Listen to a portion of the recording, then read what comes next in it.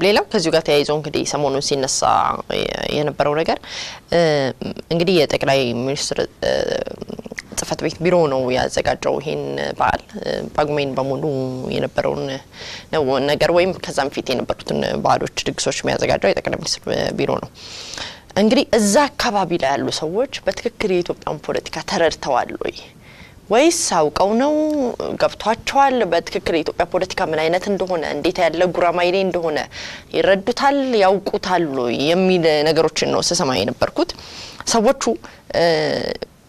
በደማሚት እየተጫወቱስ አይደለም ወይ? ደማሚት እየነካኩ እየተጫወቱስ አይደለም ወይ? በዛ አካባቢ የነበሩ ነገሮች ከአለባበስ ጀምሮ ኢትዮጵያውያን በሙሉ ይመስላሉ ወይ የሚለውን ነገር እሱን መንካት ያስፈልጋል። ከጠቅላይ ሚኒስትሩ አጠገብ ያሉ ሰዎች የኢትዮጵያን ፖለቲካ በደንብ ጠንቅቀው የሚረዱ ሰዎች ናቸው የሚለው ወይ የሚለውን ሲነሳ ስላየሁት ነው። እርስዎ እንዴት ይሰማዎታል? እሺ እኔ ኢትዮጵያን ይረዷታል ወይ በሚለው ልጀምር። አዎ ይረዷታል። የሚረዷት ኢትዮጵያ ግን እነሱ የሚፈልጉት ኢትዮጵያ አለች። እንዳልኩሽ ኢትዮጵያ የሀገረ መንግስት ምስረታ ላይ የቆመ አገር ነው። unified አልሆነም እና ሶስት image ነበራት ቢያንስ በኛ በኛ አሁን ባለን የታሪክ ንባብ ልንረዳ የምንችለው ማለት ነው። የመጀመሪያው እቺ Gibbon's ኢትዮጵያ የምትባለው ነች። ኤድዋርድ ጊቦን የሚባል የእንግሊዝ የታሪክ ጸሐፊ ነው። እሱ የገለጻት ኢትዮጵያ ጊቦንስ ኢትዮጵያ ምትባል ጊቦን ኢትዮጵያ ምን አይነት ኢትዮጵያ ነች? ክርስቲያን ኢትዮጵያ ነች። በጠላት በጠላት የተከበበች ነች እና ለሺህ ዘመናት ዓለምን ረስታ ዓለምም እሷን ለሺህ ዘመን ረስቷት የኖረች ኢትዮጵያ ነች። የእንግሊዝኛው እንትን ባነብ ከፈቀድሽልኝ ደስ ይለኛል። የሰውየውን on all sides by the enemies of their religion the Ethiopians slept nearly a thousand years, forgetful of the world by whom they were forgotten. ያቺ ኢትዮጵያ የኃይለ ሥላሴ ዘመን ኢትዮጵያዊ ሙስሊም ሳይሆን ኢትዮጵያ ውስጥ የሚኖሩ ሙስሊም የሚባልበት ዘመን በ state media ሳይቀር ማለት ነው። እሷ ኢትዮጵያ አለች። ደርግ መጣና በአብዮት ኢትዮጵያን ሶሻሊስት ኢትዮጵያን በፕሮፌሰር ባህሩ አገላለጽ ሶሻሊስት የሆነች ሁሉም ሰው እኩልነት የሰራተኛ መደብ የሚሰራ ሰው ሁሉ እኩል የሆነበት እኔም አንቺም ከፍ ዝቅ ማትይበት እኩል ገበያ አላት ምናምን እንደዛ አይነት aspire አደረገ። That was another image of Ethiopia። እሱም ተቀለበሰና ኢህአዲግ መንግስት ሲሆን የመጣችው ኢትዮጵያ አለች። ፌዴራሊስት ኢትዮጵያ፣ የብሔሮች ሀገር የሆነች ኢትዮጵያ፣ ብሔሮች ራሳቸውን የሚያስተዳድሩበት ዲሞክራሲያዊ ምርጫ የሚኖርበት ምናምን ይሄ image ነው። አሁን የቄሮው ትግል ይሄ ነገር በትክክል ይመለስ ፌዴራሊስት ኢትዮጵያ fine image ዋ ዲሞክራሲ ይምጣ ተብሎ አሁን ከሶስቱ image ነባራዊ image የሶስተኛው ነው። ፌዴራሊስት ኢትዮጵያ ህብረ ብሔራዊት እዛ ውስጥ diversity ህብር ያለባት ኢትዮጵያ image እነዚህን ብትደረድሬ የጠቅላይ ሚኒስትሩ ቢሮ አዘጋጆች የመጀመሪያው ላይ ነው እንትን ያደረጉ pin ያደረጉ ማለት ነው። እነሱ የሚፈልጓት ኢትዮጵያ ያቺ ነች። በግጥማቸው ላይ በፕሮግራሞቻቸው ላይ በሚያደርጉት display ላይ የሚያሳዩት ያችን ኢትዮጵያ ነው። ግጭቱም ትልቁም የህዝብ ቁጣም የመጣው በዚህ ምክንያት ነው። እኛ እያለን ያለ ነው ያቺ ኢትዮጵያ evolve አድርጋለች። we are no more in, in the era ኢትዮጵያ በአረብ ጠላቶች የተከበበች የክርስቲያን ሀገር የክርስቲያን ደሴት ነው የሚሏት አይደለችም። እና አሁን evolve አድርገን ኢትዮጵያ ራሷን ማየት ያለበት እንደ ህብረ ብሔራዊት ሀገር ሙስሊሙም አለበት፣ ብሔሩም የተለያየ አለበት፣ ሃይማኖት የሌለውም አለበት። በዚህ መልኩ ነው ኢሜጁ የሰው ጭንቅላት ውስጥ ሊሰራ የሚገባው። ላቋርጦት አቶ ግርማ ባኮ እርስዎ ይረዳሉ የፖለቲካውን ስላሉኝ ነው። እዛ አካባቢ ላይ ያሉ ሰዎች ቢሮ ውስጥ የጠቅላይ ሚኒስትሩ ቢሮ ውስጥ ያሉ ሰዎች ፖለቲካውን በደንብ አድርገው የሚረዱ ሰዎች ከሆኑ ይረዳሉ ስልሽ ወደ ራሳቸው ፖለቲካ ለመቀልበስ ነው እየሰሩ ያሉት ነው። የት ድረስ ያደርሳቸዋል ነው የህዝቦች ቁጣ፣ የህዝቦች ብስጭትና የኦሮሞ ህዝብ ብቻ አይደለም። የትኛውም አካባቢ ላይ ያለ ብስጭትና ቁጣ የትግራይም ህዝብ ሊሆን ይችላል። ለነሱ ተመልሶ ትኩሳት አይደለም ወይ? ለነሱ ባልተደላደለ ወንበር ላይ ገና ጠቅላይ ሚኒስትሩ ወንበራቸውን ባላደላደሉበት ሁኔታ ገና መጪ ምርጫ እየተጠበቀ እያለ እንደዚህ አይነት ስህተት እንዴት አንድ ጎበዝ ፖለቲከኛ ሊሰራ ይችላል? ፖለቲካውን ባይረዱ እንጂ exact እነሱ እኮ ፖለቲካውን አይረዱትም ብዬ እነሱን intelligence ኣቸውን ማውረድ አልፈልግም። ይረዳሉ፣ ግን because የሚፈልጓት ኢትዮጵያ ያቺ ነች። ጠቅላይ ሚኒስትሩ ወደዛች ኢትዮጵያ ነው የሚጎትቱት ያሉት። ይሄ የምንለው ዝግጅት ሁሉ counterproductive ነው እያልኩ ያለሁት ለዛ ነው። አሁን ያነሳሽው ነጥብ አለ። የህዝቦች ቁጣ እየተነሳ ነው። ለህዝቡን ለማዋሃድ እየተዘጋጁ ያሉ ፕሮግራሞች የህዝብ ቁጣ እየቀሰቀሱ ነው።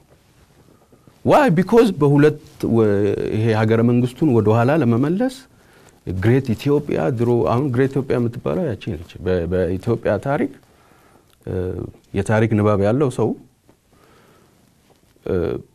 ምንድን ነው አሁን ለምሳሌ where is the greatness ይሄ አሁን ኢትዮጵያ ስንል አሁን ጭንቅላታቸው ውስጥ የሚመጣው ካርታ አለ። ይሄ ኢትዮጵያ 150 ዓመት ዕድሜ ያለው ኢትዮጵያ ነው። ከዛ በፊት ሁሉም የራሱ ግዛት ነበረው።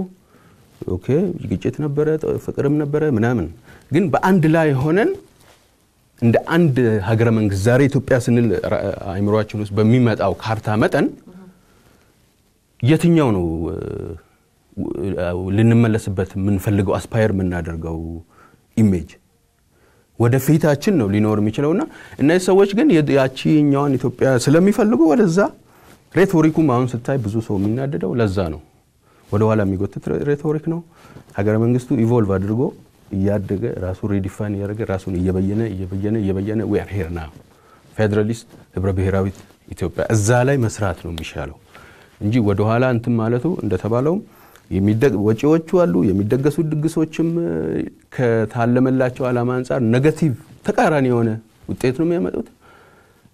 በዚህ ምክንያት አሁን ያለን ችግር ውስጥ ገብተናል ማለት ነው እና እንዳልኩሽ ቅድም ወይ ድግሶቹ ቢቀሩ ድግሶቹ የሚቀጥሉ ከሆነ ግን እቺ አሁን redefine የተደረገችው የህብረ ብሔራዊት ኢትዮጵያ ቢያንስ በምክር ደረጃ የሚያስቀምጧት real የእሷን image ለማጉላት መሞከር ነው የሚሻለው።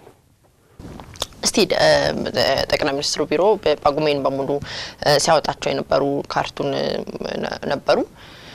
እነሱ እነሱንም ሰዎች ከመረዳት ነው እኮ እዛ አካባቢ ያሉ ሰዎች በጭራሽ ደማሚት እየነካኩ ነው እያሉ ያሉት። እየተረዱት አይደለም። ስዕል ሊኖር ይችላል፣ የሆነ ስሜት ሊኖር ይችላል፣ የሆነ ነገር ሊኖር ይችላል። ግን ፖለቲከኛ ወይም ደግሞ ፖለቲካ አካባቢ ያለ ሰው እሱን በግልጽስ በአደባባይ ላይ ያወጣዋል። የነበሩ ካርቱን ምን አይነት ነበሩ? ሰው የፈለገውን ባንዲራ የመልበስ መቼስ ዲሞክራሲ ነው። የሚያምንበትን የትኛውንም አገሩን የሚወክልለትንም አርማ ያለውን ኮከብ ያለውን ምልክት ያለውንም ባንዲራ ማድረግ ይችላል። ልሙጡን ማድረግ ይችላል። ኦነግን የሚወድ ኦነግን ማድረግ ይችላል። የህወሓትንም እንደዛው ሰው የፈለገውን ነገር ማድረግ ይችላል። በመንግስት ደረጃ ግን ሲመጣ ምን ስሜት ይሰጣል? እውነት ነው። እነዚህን አርማዎች ማድረግ የግለሰብ መብት ነው እንጂ የስቴት መብት አይደለም። ስቴቱ ህጋዊ የሆነውን ብቻ ነው መጠቀም ያለበት። አሁን የመጀመሪያው የሆነ ቀን ትዝ የሚለኝ ባንዲራው ራሱ officially በጠቅላይ ሚኒስትር ቢሮ ተሰርቶ የተለቀቀው cartoon ላይ ይሄ ልሙጡ ባንዲራ ነው። በኋላ ሰው እንዲህ ምናምን አለና በሁለተኛው ቀን በለቀቁት image ላይ አስተካከሉት ማለት ነው። ስለዚህ ለመንግስት ይሄ የመብት ጉዳይ አይደለም፣ ኦፊሲያላዊ ነገር ነው። መንግስት የሚያደርገው ህዝብን ወክሎ ነው። ስለዚህ even ዝግጅቱ ራሱ መንግስትን የሚወክል ነገር ስለሆነ እንዲህ አይነት ነገር የግለሰብ መብት ነው ተብሎ ሊተዉ አይችሉም ማለት ነው። ኦፊሻላዊ የመንግስት ዝግጅት ነው። ስለዚህ በዛ ደረጃ ታይቶ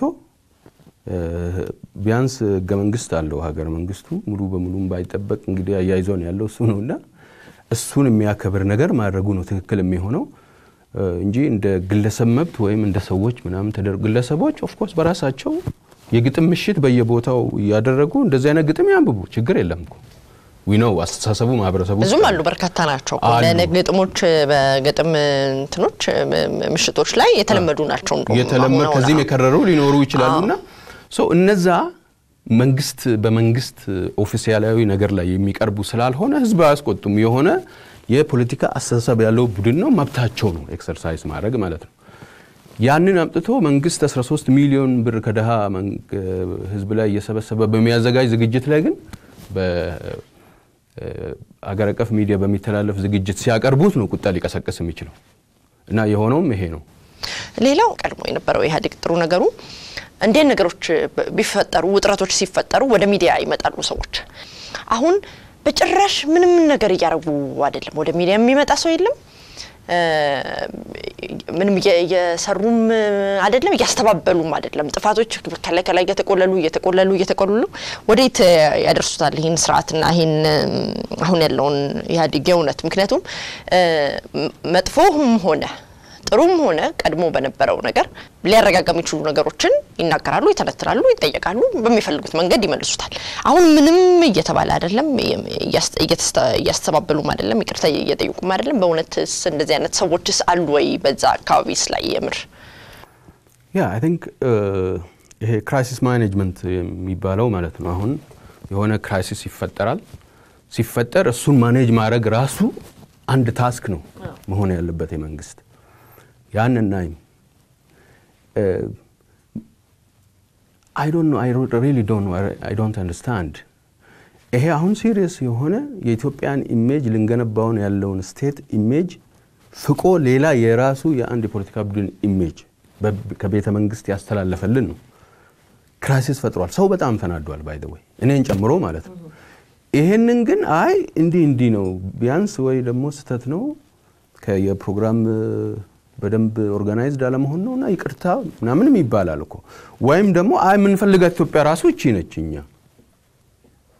so ግጥም ውስጥ የተቀመጠው ኢትዮጵያ that's ኢትዮጵያ working for ብሎ ግልጽ መሆን ይሄንንም አ- አይደረግም፣ ያንም አይታይም።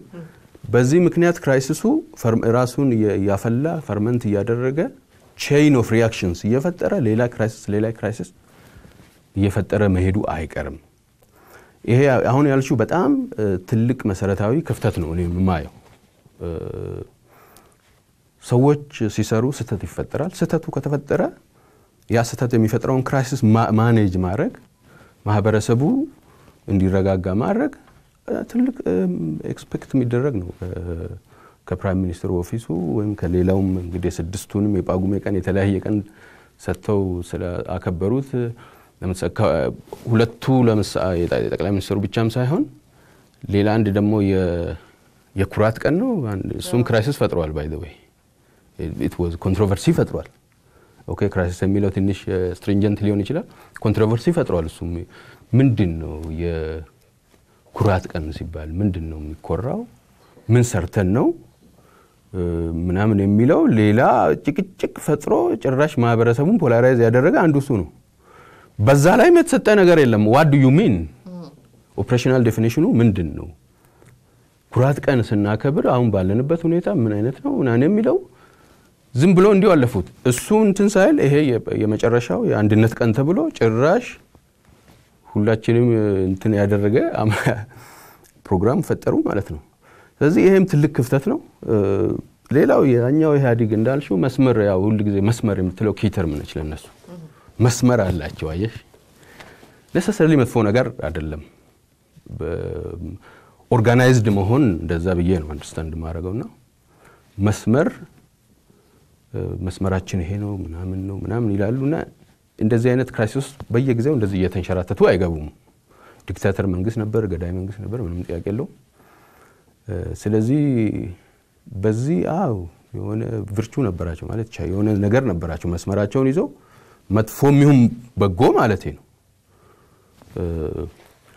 ደግሞ ከመስመር ወጥቶ የሆነ controversy ወይም crisis ም ከተፈጠረ እንዳልኩሽ top ideology የነበሩት ሰዎችም ሌሎችም እየወጡ manage ለማድረግ ይሞክሩ ነበር።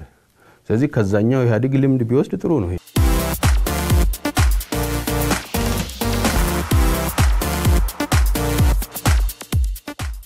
መልካም እንግዲህ ውይይታችሁን በቀጥታ እያየሁት ነበረ ቀደም ብዬ በጣም ከኦቦ በቀለ ጋር የነበረውን ማለት ነው በቀጥታ ስርጭት እያየሁት ነበረ እና እዛ ላይ ኦቦ በቀለ እንዲያነሱት በእርግጥ እሳቸው እሳቸው የእሳቸውን ሀሳብ እንዴት ትረዳዋለ የሚለውን ነው። እሳቸውን አላመጣውም እዚህ ግን እሳቸው በቀጥታ ያሉት አይ ጠቅላይ ሚኒስትሩ በጨርሽ መውረድ አለበት፣ ስልጣኑን ጥሎ ነው መሄድ ያለበት የሚል አንድ ነገር አንስተዋል። እርስዎ ደግሞ በዛው አይ ልክ አይደለም ብለው ስላልተቃወሙ የእርስዎም ሀሳብ ነው ወይ ጠቅላይ ሚኒስትሩ ይውረድ የሚለውን ብዬ ለመጠየቅ ፈልጌ ነው። እኔ ግልጽ ነበርኩኝ እዛ ላይም እኔ prime minister ኡ resign ያደርጉ የሚለውን ብዙም አልገፋሁበትም። እኔ ይቅርታ ይጠይቁ የሚል ነበረ stress ያደረግኩት ማለት በጣም መጥፎ crisis ጊዜ ያለ ነው እና አብይ አሁን ባለው ድክመቱ ሁሉ ለሱ ጥንካሬ ነው በእኔ አረዳድና ብዙ ድክመት ብዙ ጥንካሬ list ሊደረግለት ይችላል። with all this አሁን ያን ቦታ ፊት የሚያደርገው እሱ ነው። resign ካደረገ ሌላ crisis ውስጥ ሀገሪው ይገባል የሚል እንትን ስላለኝ resign ያድርግ የሚለውን ለመጫን እንዴትስ ያደርጋሉ? እሳቸው በአንዲት ሴት ግጥም በዛ ላይ ግጥሙ ላይ ገመግሙ እሳቸው ኦቦ በቀለ መመለስ አለበት። ግን እኔ የእኔ position እንዳልኩሽ ህዝቡን ይቅርታ ጠይቆ ማረጋጋቱ በቂ ነበር የሚል argument ነው እዛ ላይም ያቀረብኩት። I think I maintain that argument still። መልካም እሺ። ምክንያቱም resignation ኡ ሌላ እንትን ስላለው ማለት ነው። ሌላ አደገኛ pathway ውስጥ ሊከትን ስለሚችል I think I would not push that far yeah እሳቸው በየትኛውም ሁኔታ ስልጣናቸውን ቢለቁ ከዚህ ቀደምም ተደርጎ ስለነበረ ምን ይፈጠራል ብለው ይሰጋሉ እርስዎ? ይሄ ሪፎርም ምንድን ነው? ያው ከዚህ በፊትም ብዙ ስለተባለ ከዛው ከሪፎርሙ ውስጥ የወጡ ሰዎች ቢመሩት ብለን ሁላችንም የደገፍ ነው የተሻለው scenario ነው በሚል ነው አይደለም። አሁን መንግስት ይፍረስና revolution ሆኖ እንደገና ድርድር ተደርጎ አዲስ መንግስት ይቋቋም የሚል ቡድን ነበረ።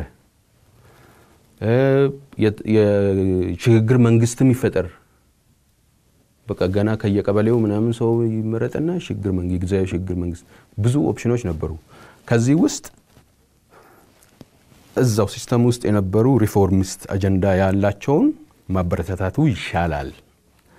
እነሱ transition ኡን መርተው ወደ ዴሞክራሲ ቢያሸጋግሩን የተሻለ ነው በሚለውም መሰለኝ ብዙዎቻችን rest ያደረግነው ሀሳቦቻችንን ማለት ነው።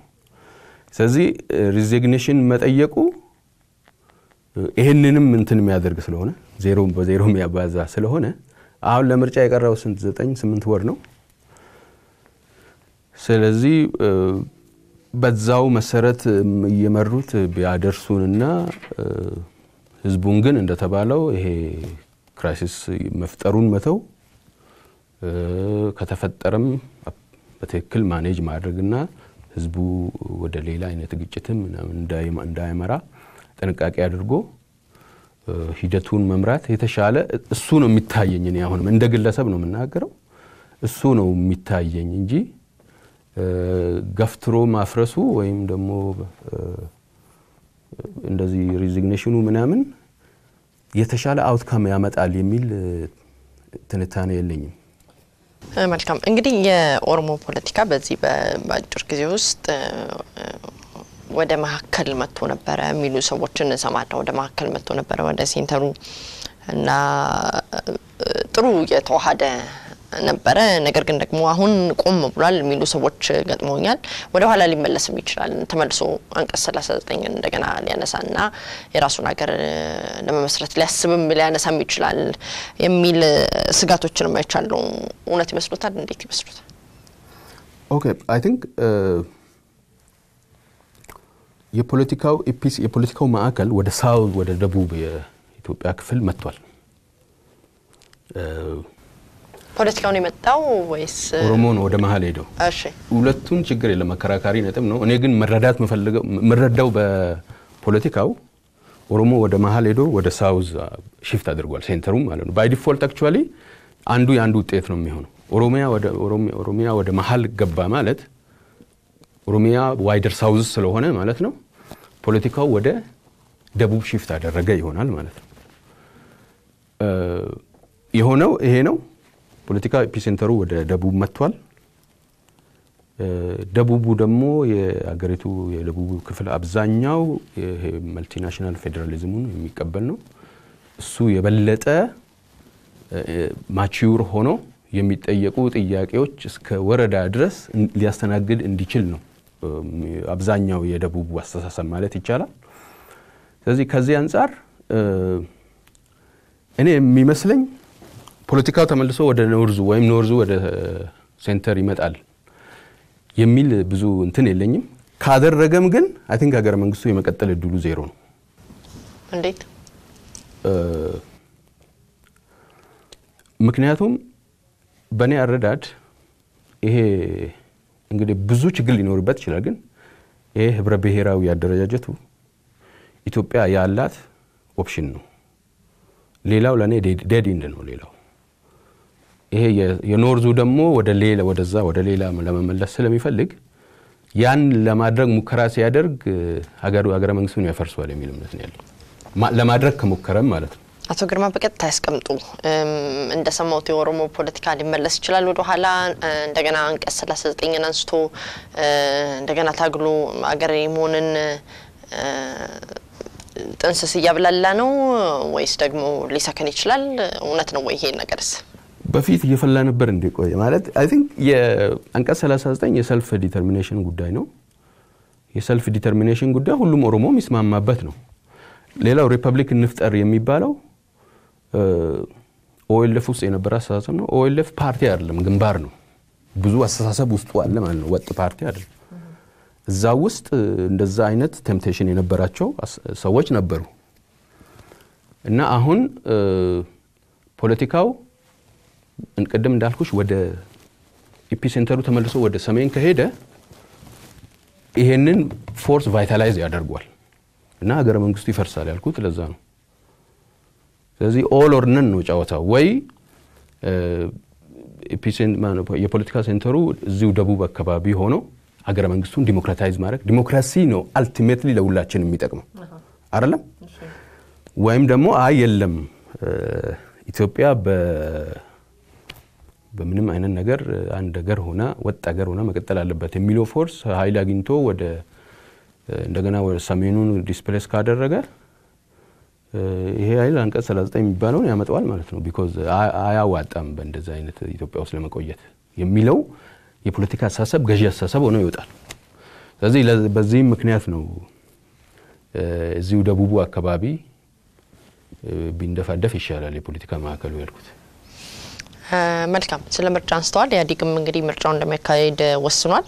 ነገር ግን ጥሩ ቁመና ያለው ለምርጫ መወዳደር የሚችል ፓርቲ ተፈጥሯል ወይ? የእውነት አሁን ላይ ዝግጅታቸውን የጨረሱስ ይመስሉታል ወይ ፓርቲዎቹ?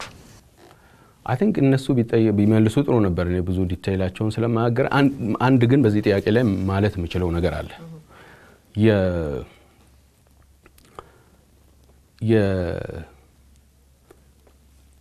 Indian National Congress የሚባል ፓርቲ አለ፣ ህንድ ሀገር ማለት ነው። 1885 የተቋቋመ ነው። ነገሩን መጥቼ ያገናኝልሻለሁ በሆነ መስመር። የሚገርመው ይሄ ፓርቲ የእንግሊዞች ነው ያቋቋሙት። እንግሊዞች የፈጠሩት ፓርቲ ነው። እንግሊዞች የፈጠሩት ፓርቲ ሆኖ እንግሊዝ ህንድን ስትገዛ ማለት ነው በኮሎኒ ህዝቡ ልታስተዳድርበት የፈጠረችው ፓርቲ ሆኖ መልሶ በነ ጋንዲ መሪነት የህንድን ህዝብ ነፃ ያወጣ ፓርቲ ግን ራሱ ሆነ። ልክ አሁን የምናየው እኛ ሀገርም ለምሳሌ ኦፒዲኦ የኦሮሞውን ህዝብ ለማስተዳደር ሌሎች የፈጠሩት ፓርቲ ነው። የኦሮሞውን ህዝብ እሱን እንደ tool ተጠቅመው ለማስተዳደር እንጂ ለኦሮሞ ህዝብ እንዲጠቅም አድርገው አይደለም የፈጠሩት። ግን አሁን የመጣው change ምን አደረገ? ያንኑ same ፓርቲ ልክ እንደ ሀገር እንደሆነው ለኦሮሞ ህዝብም ነፃነትም የሚታገል ፓርቲ ሆኖ ራሱን redefine አድርጓል። ስለዚህ በዚህ ምክንያት ህንድም ሀገር የሆነው ምንድን ነው almost ለሰባት ጊዜ በተከታታይ አሸነፉ Indian National Congress ህንድ 1947 ነው እንትን የወጣችው ከ colony የወጣችው ነጻ የወጣችው almost 60 ምናምን ዓመት የእንግሊዝ መጠቀሚያ ከሆነ በኋላ ህንድን ነጻ ወጣትና ያ ፓርቲ ለሰባት ተከታታይ ጊዜ የ central መንግስቱን ማሸነፍ ችሎ ነበረ። ኢህአዴግም አሁን እንደዚህ አይነት tendency ይታየኛል። ትንሽም ቢሆን በተለይ ኦፒዲኦ well we're saying prime minister ኡ የሚለው ሌላ ነገር ሆኖ ቢያንስ የምናውቃቸው የፓርቲው apparatus ውስጥ ያሉ ሰዎች በሚሉት ከሆነ እንትን ሊሉ ይችላሉ። can survive እንደ Indian National Congress ፓርቲ በምርጫ በዲሞክራሲ ምርጫም አሸንፈው መንግስት የመሆን እድል አላቸው። ስለዚህ እነሱም ሙሉ በሙሉ dismiss አድርጎ ስለ ተቃዋሚዎች ድክመት ብቻ ማውራቱ ካልተሳሳትኩ እርስዎ የሚሉት ኢህአዴግ ተስፋ አለው ነው። ተስፋ አለው። ስለዚህ ተስፋ ኢህአዴግ የለውም እና ስለ ተቃዋሚዎች ብቻ እናውራ ማለትም በታሪክም በ experience ም አሁን እንዳልኩሽ ማለት ነው ስህተት ላይ ያደርሰናል ማለት ነው። ይሄ ሆኖ ግን ተቃዋሚዎች ብዙ ብዙ advantage አላቸው በደንብ ተደራጅተው እንትን ካሉ ማለት ነው። እኔ እንዳልኩሽ ስለ ድርጅታቸው ብዙ ውስጡ ስለሌለው አላውቅም። ምክንያቱም አንደኛ ኢህአዴግ ኦፒዲኦ ለምሳሌ ኦሮሚያ ውስጥ incumbent ነው። incumbent disadvantage የሚባል አለ። ሁል ጊዜ የሰው ልጅ በፊት ስልጣን ላይ የነበረውን ያለመምረጥ tendency ያለው በፖለቲካ ውስጥ የሆነ ለውጥ ይፈልጋል ሰው እና በቆየሽ ቁጥር የሚቀጥለውን ምርጫ ለማሸነፍ disadvantage እየሆነብሽ ነው የሚሄደው። ወርቅ እንኳን ብታቀርቢ ለህዝቡ ማለት ነው የፈለገ ስራን ብትሰሪ incumbent disadvantage የሚለው ነገር ስላለ ያ ለተቃዋሚዎቹ በጎ እድል ይፈጥራል። እንግዲህ አብዛኛው ፖለቲከኞች ሲናገሩ እንደምሰማው ኢህአዴግ አልቻለም ጨርሶኑ እርስዎ ምርጫ ሊያሸንፉ እንደሚችሉ ቀድሞ እየተነበዩ እድል አላቸው ነው። ይሄ የህንዱን experience ያመጣሁት ምንድን ነው necessarily የሰው tool ስለነበርሽ ብቻ በዜሮ ህዝቡ ላይ ጥልሽ ይችላል። መደምደሚያ ነው የሰጡት አላልኩም። መደምደሚያ ሰጥተዋል ሳይሆን ግን ሀሳቦትን ከሌላ ሀገር ተሞክሮ ጋር እንደዚሁ አድርገው ትንበያዎትን ቢያስቀምጡ መጥፎ አይደለም። ነገር ግን ብዙ በአብዛኛው ተቃዋሚዎች ሲናገሩ የምሰማው በጭራሽ ኢህአዴግ ስላልቻለ የሚያዋጣው የሽግግር መንግስት ነው የሚለው ነው በተደጋጋሚ የምሰማው ከተፎካካሪ ፓርቲዎችና ምን ያስባሉ ስለ ሽግግር መንግስት? እኔ እንግዲህ I think ከዚህ በፊትም ሌላ ቦታም ቀርቤ ተከራክሬያለው የሽግግር መንግስት የሚባለው ምንድን ነው? አሁን ያለውን ህገ መንግስት X አድርጎ እንደገና ሌላ አይነት ድርድር grand bargain አድርጎ የሚፈጠር የፖለቲካ dispensation ነው። ለእኔ ይሄ በጣም risky ነው፣ ሀገሩን ያፈርሳል የሚል ነኝ። የህገ መንግስቱ ችግር ቢኖርበትም እሱ በዛው ሄደን ብንሻገርበት ይሻላል። ስለዚህ የሽግግር መንግስት የሚለው ለእኔ option ጥሩ option አይደለም። ቢያንስ option ሊሆን ይችላል፣ ግን best scenario ሊባል የሚችለው አይደለም። በዚህ ምክንያት ብዙ ማልስማማበት ነጥቦች ያሉትን የኢህአዴግ ህገ መንግስት በሚዲያ ላይ ወጥቼ defend አድርጌያለሁ። የተሻለ better evil የሚሉት ፈረንጆቹ ሁለት መጥፎ ነገር ቢኖር you choose better evil የተሻለውን መጥፎ የመምረጥ ጉዳይ ነው ለእኔና የሽግግር መንግስት የሚለውን idea ብዙ አልገዛውም። ያለው ነገር እንዳለ ከነ ችግሩ ተቀብለን ህገ መንግስቱንም መመሪያ አድርገን because ሀገሪቱን አሁን አያይዘው ያለው ብቸኛው እሱ ነው እና በዛ መሰረት ወደ ዲሞክራሲያዊ ስርዓት ብንሸጋገር የተሻለው evil ነው፣ የተሻለው መጥፎ option ነው የሚል አመለካከት ነው ያለኝ። እንግዲህ መቼስ ሁላችንም ጣታችንን ወደ ጠቅላይ ሚኒስትሩ ነው የምናደርገው። ሌላም አማራጭ የለንም። እንግዲህ ገደብ ያበጃሉ ለእያንዳንዱ ነገር ብለን ተስፋ እናደርጋለን። ስልጣናቸውንም ተጠቅመው የሚያከብራቸውንም ህዝብ እንደዛው ተጠቅመው ለእያንዳንዱ ነገር የማያፋጩ የማያጋጩ ነገሮችን ከዚህ በኋላ ያደርጋሉ። ጠቅላይ ሚኒስትሩ ገደብ ያበጃሉ ብለን ተስፋ እናደርጋለን። እና በመጨረሻ ሌሎት የሚፈልጉት ነገር ካለ እፈቅድሎታለሁ። እኔ እዚህ ድረስ መጥተው ትንታኔዎትን ስላቀረቡ በተመልካቾች ስም አመሰግናለሁ። እኔም አመሰግናለሁ። I think ብዙ ነገር ብለናል። ሌላው ምናልባት መጨረሻ ላይ ጠቅላይ ሚኒስትሩ prime minister አብይ አህመድ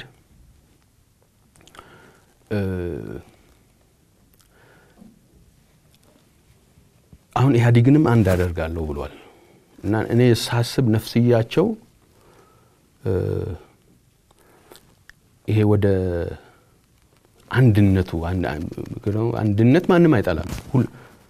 አንድነት በባህሪው ማለት ነው። አንድነት ጽንሰ ሀሳቡ ራሱ በጎ ጽንሰ ሀሳብ ነው። ስለዚህ አንድነትን የሚጠላ ሰው የለም። የትኝ ምን ልገንጠል የሚለውን አንድነትን አይጠላም። ባይ ወይ ምን አይነት አንድነት የሚል ነገር ላይ ሲጠይቅ ነው ልዩነት የሚመጣውና ጠቅላይ ሚኒስትሩ አንድነት ላይ capitalize ማድረግ ጥሩ ነው። ግን ምን አይነት አንድነት፣ እንዴት ሊመጣ የሚችል አንድነት የሚለው ወሳኝ ነገር ነው። እሳቸው ብዙ ጊዜ የሚሉት ነገር አለ። passionately negativist ከመሆን passionately በ positive ማሰብ ይሻላል። ጥሩ ነው፣ እሱም ችግር የለም። ግን የሀገረ መንግስቱ መሰረታዊ ተቃርኖዎች ግንዛቤ ውስጥ ሳናስገባ passionately ም የሆነ ወጥ አይነት አንድነት ካቀነቀንን ወደ ግጭት ሄደን ወደ ኋላም ልንመለስ እንችላለን እና really ይሄ multinational ፌዴራሊዝሙ ላይ በደንብ እሱ ላይ stress ማድረግ ነው የሚሻለው። በ rhetoric ደረጃም ቢሆን ማለት ነው። በተግባርም በ rhetoric ም እሱኑ ያለን የተሻለ option እሱ ስለሆነ እዛ ላይ መስራቱ የተሻለ ይመስለኛል። እሱ ነው ultimately የኢትዮጵያን ህዝቦች አንድነት ሊያመጣ የሚችለው የሚል እምነት አለ። በጣም አድርጌ አመሰግናለሁ። መልካም እድል እመኛለሁ። ጊዜ ሰጥተኸኝ እሺ፣ ተመልካቾች ፕሮግራሜን በዚህ ጨርሻለሁ። ሳምንት በሌላ ፕሮግራም በሌላ እንግዳ እስከምንገናኝ በያላችሁበት ጤና ይስጥልኝ።